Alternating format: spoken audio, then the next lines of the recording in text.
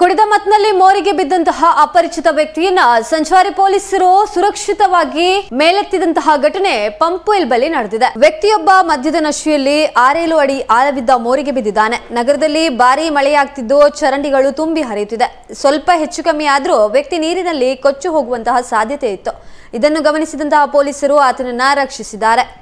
ಮಂಗಳೂರು ನಗರ ಜಪ್ಪಿನಮಗರು ಸಂಚಾರಿ ಠಾಣೆಯ head constable Thippeswamy ಹಾಗೂ ಸಿಬ್ಬಂದಿ ವಿಲ್ಸನ್ ಫೆರ್ನಾಂಡಿಸ್ ಅವರು ಮೋರಿಗೆ ಇಳಿದು ವ್ಯಕ್ತಿಯನ್ನ ಮೇಲಕ್ಕೆತ್ತುವಲ್ಲಿ ಯಶಸ್ವಿಯಾಗಿದ್ದಾರೆ. ಇನ್ನು ಪೊಲೀಸರಿಗೆ ಸಾರ್ವಜನಿಕರು ಕೂಡ ಸಹಕರಿಸಿದ್ದಾರೆ.